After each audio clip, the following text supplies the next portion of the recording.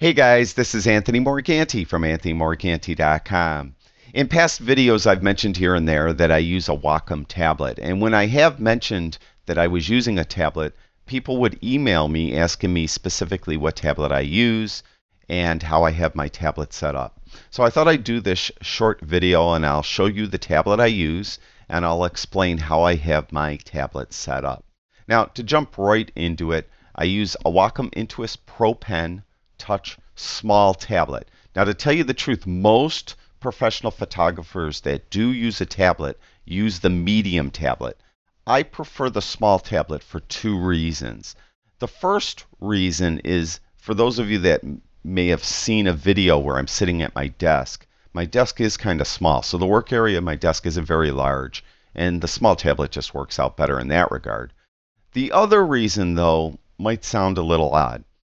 I could use this tablet and I could move the pen from one diagonal corner to the other diagonal corner with just my wrist.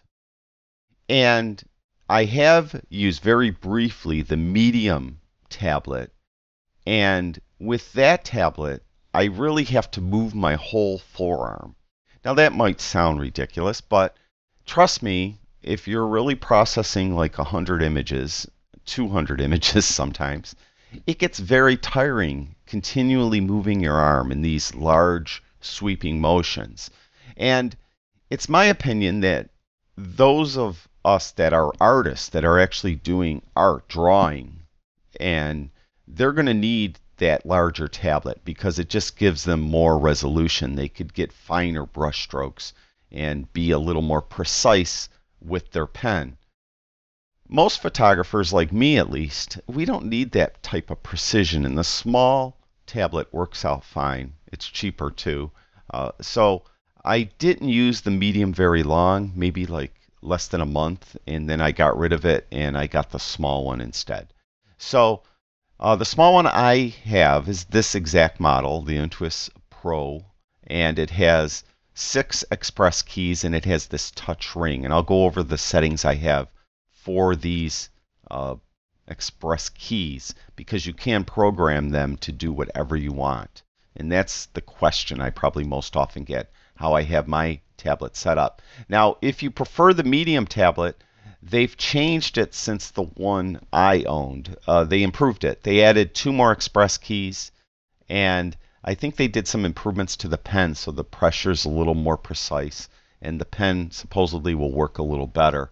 Um, but other than that, it's pretty much the same work area, so it's the same size. So I can't comment specifically on this current model of the medium tablet because I never owned that one, but it's very similar uh, to the one that I used, which is the one with six express keys. So uh, what I'll do is I'll just bring up the tablet settings and we'll just go over real quick how, have, uh, how I have mine set up. Now you could set these tablets up so they actually are touch sensitive. So you could do finger gestures right on the tablet and, um, you know, similar to the way a Mac uh, touch pad might work. I have mine off. So I have touch off on mine. Uh, that's just personal preference. I mean, it works okay. I just prefer not to have it.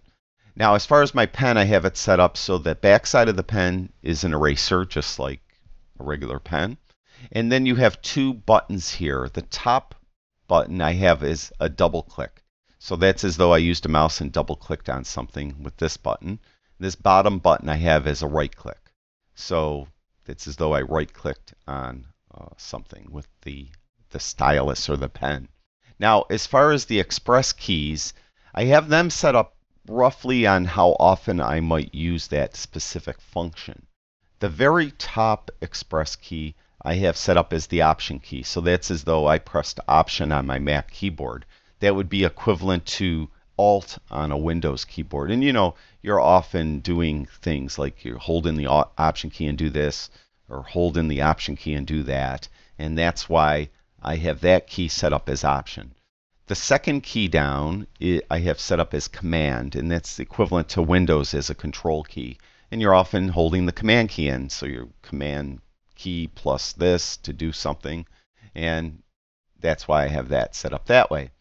The next one down I have as step backward, and what that means is like Option Command Z or Alt Control Z on a Windows keyboard. That's so that you could basically undo what you just did. And in Photoshop, often you're you might go down a rabbit hole and decide you don't like what you did. So you're going to step backward and you're going to continually hit Option Command Z or Alt Control Z to back your way out.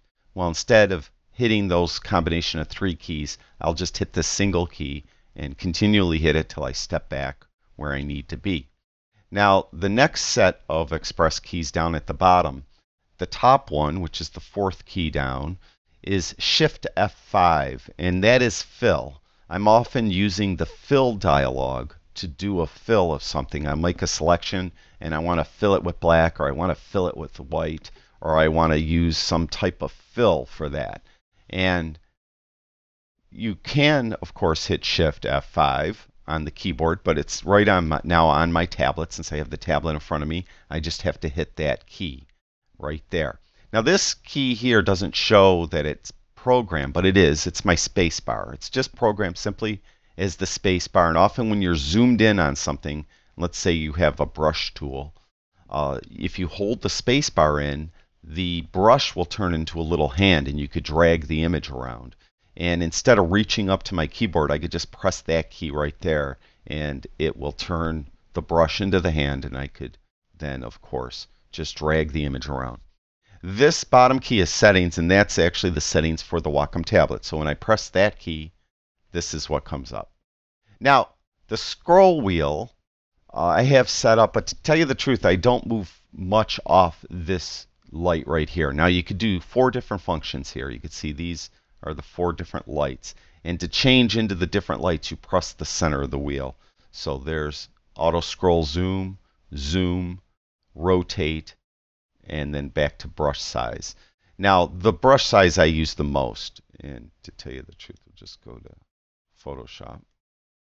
And so anything that is a brush, any tool that is a brush, like the clone stamp tool, the brush itself, um, any of the um, spot healing brush tools, anything that's the brush, all I got to do is run my finger. It's touch sensitive. You're not really pressing in or anything. You're just touching the wheel on the outside. And I'll show you what I mean in a minute. And I could change the brush size very, very easily by doing that.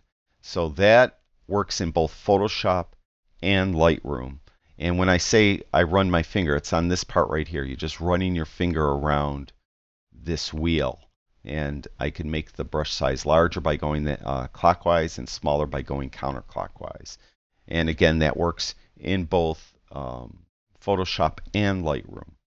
Now, the next um, light here, by pressing the center button, is auto scroll zoom. And I don't use that actually that much. I, I tend to just go up to the keyboard and hit, you know, Command plus, Command minus, uh, something like that. But with that one, when I'm in that mode, I could just zoom into the image by running my finger along the um, the the the ring, you know, on the outside. Now, in Lightroom, if you're in that mode, eh, I'm doing it now. You obviously it's not working at all. The functionality in Lightroom is a little different. With Lightroom, you when you're zoomed in on an image and then you run in or you run your finger along that ring, you're actually just going to scroll up and down. That's all that does. So it's not really that great the functionality isn't that um, important in Lightroom, I guess, for that one. Now, the next one down, again, I, I really never use this, is Zoom. And with Zoom in Lightroom, it will like zoom in all through all these different sizes that are up here from fit, fill, 1 to 1, 1 to 16. Whatever's showing up there is what it's going to zoom. So, you know, it's going to zoom way in or way out. So you can see it's not, you know, it's just going through these different um, these different uh, sizes here, whatever these are. It'll go through all of them. So that is the way that works in Lightroom. Now that third light in Photoshop does the exact same zoom that the second light did. So in Photoshop, this light and this light do the same exact thing. Now the last one is rotate, and that works the same uh, whether or not you're in Photoshop or Lightroom. Is it will just rotate your image. I tell you the truth, I never use that either. So um, mainly the express keys I use all the time. Option Command, step backward, and fill. Um, this is this one, the Shift F5. I use all the time. The spacebar, a lot of times the way my hand is, my hand is usually like right here, and my keyboard is right here. I could just touch the spacebar up here, probably easier than moving my hand all the way down here and hitting this key for the spacebar. So I probably don't hit that spacebar that much there. So that's the way I have my uh, Wacom tablet set up. Uh, and, and again, mainly the brush size for this. I really don't switch to the other three lights that often, if at all, to tell you the honest to God truth. So that's it. I just wanted to give you an idea of the Wacom tablet I use and why I use that small one specifically, and how I have mine set up with as far as the express keys. And those of you that are left-handed, you could set the uh, Wacom tablet up for a left-handed person by just flipping it and there's a setting in the software to change it to left-handed. And so all these buttons be, go on the right and all the settings flip-flop and everything. So it works perfectly um, you know the same way as if you you know you're right-handed if you're left-handed whatever you know what I'm trying to say so that's the setting there I have will have my affiliate links uh, below this video if you want to check out the tablet and um, that's it Thank you, everyone that watches my videos. I'll talk to you guys soon.